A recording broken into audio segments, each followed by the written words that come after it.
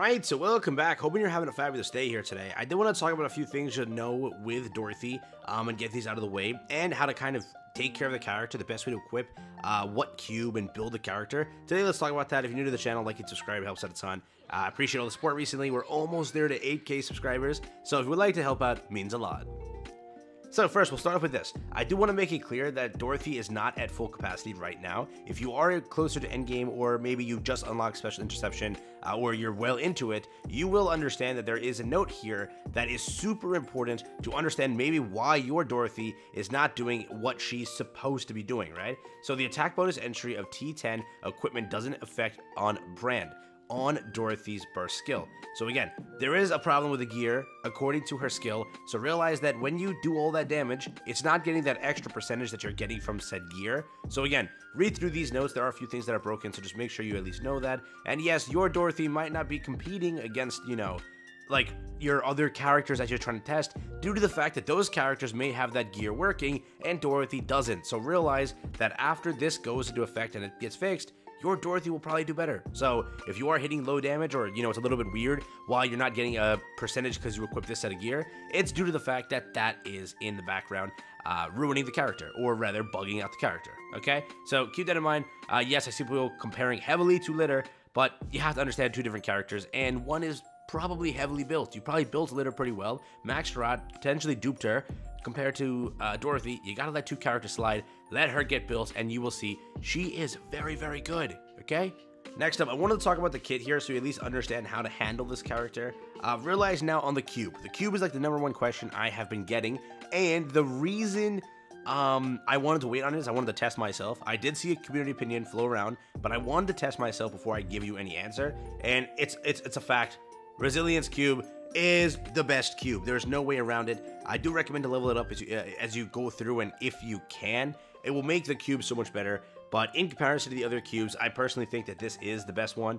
Um, like, again, Assault Cube, not really. Onslaught Cube, not really. Bastion Cube, not really. I think Resilience is where it's at.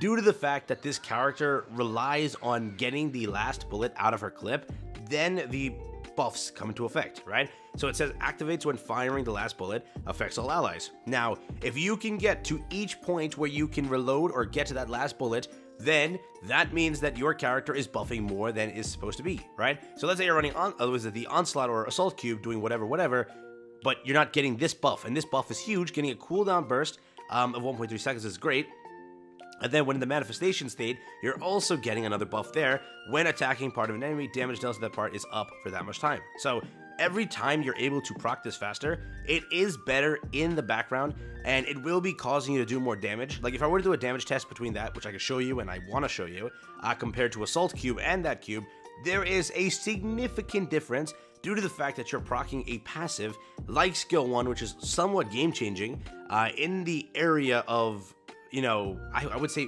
significantly faster. Significantly faster, right? So if you were to build this character, that is the way to lean on it.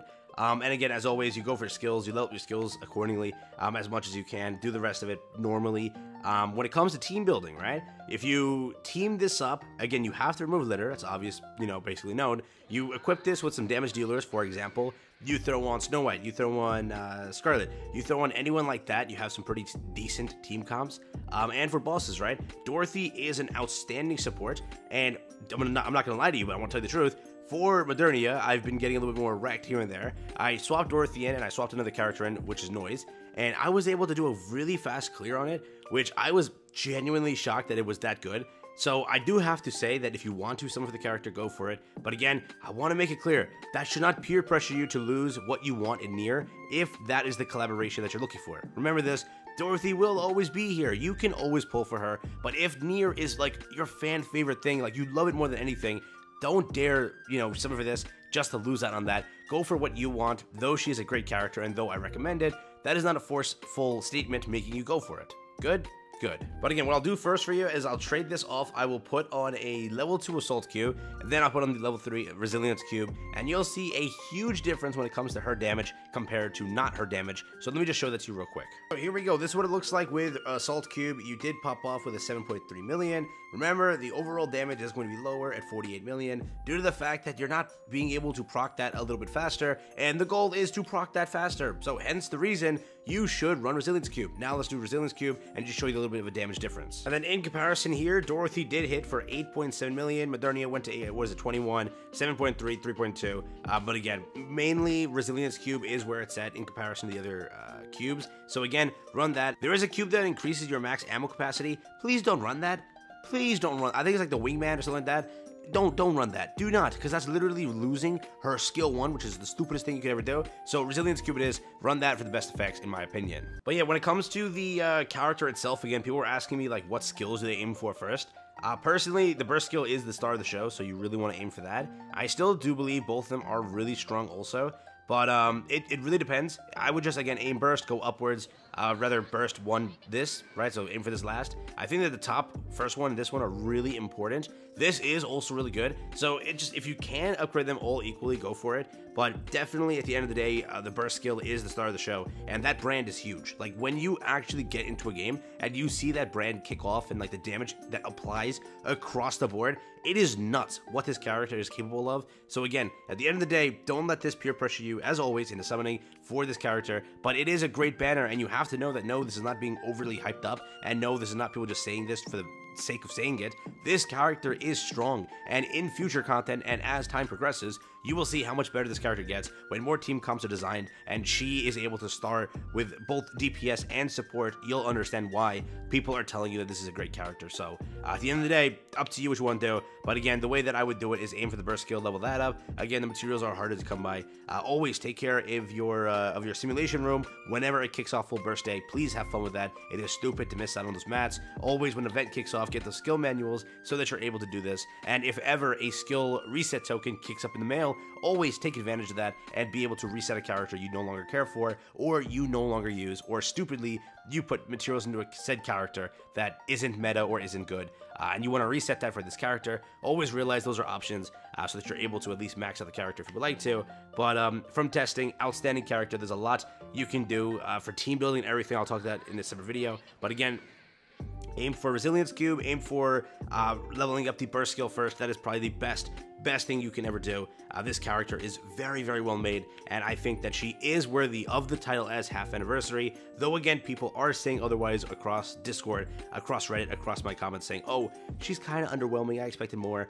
But you have to understand that you know maybe you didn't build her properly. Maybe you took too long to uh, or rather you took so much effort into Liter uh, and she is just broken in comparison to a day one character uh, you have to know that time will make the character better as you level up and as you build out the character. I also aim for the uh, rank ups on her affinity. The only thing you really benefit when you uh, limit break the character is also that and extra stats. So again, if you are still chasing the uh, the dupes for her, could help you, but I think that at one dupe, or rather at free to play status with no dupes, it is a strong character regardless of anything. So chasing doesn't really have to happen. Fully up to you though. Um, but yeah, at the end of the day, you'll see what happens um, as again time progresses. But that's just a little bit of a guide, a little bit of a tip here and there. I also did want to mention, and I did mention this in my last video, but when you are damage testing the character, I do highly recommend uh, at the end of the day to always, and whenever you play content, to always use Dorothy or rather, you know, manual play her instead of autoing. Manual play for Dorothy is huge, and it is a massive difference in the amount of damage you'll actually pop off with. So realize at the end of the day that try it, you know, where you actually play the character. Uh, some other characters like Liter or some other characters like Snipers, they, you know, kind of prefer to be on auto because, you know, you know, there's no uh, human error or delays in shooting one of the shots to uh, be able to get the passes, you know, proc or whatever. But for Dorothy, I think that it is better and extensively better to run manual because you will be hitting so much more damage. And I think the ceiling with her is much higher versus auto and manual. Though again, with other characters, it is similar. But I just want to mention that as I did in my last video, it is a huge difference in how much you can put up uh, with it. Okay, so the end of the day, just a quick little guide here. want to talk about that, how you can build her, and just to know that there is a bug with her, so you may not be hitting the high tier numbers you're looking to hit. So realize percentage differences and all of that take into effect that this character may not be at 100% just yet. So with it, that's been it. I'll catch you in the next one. Have a stay safe, peace, and enjoy. Quick little video here to get this out and just to make sure uh, you build your character in the best possible way.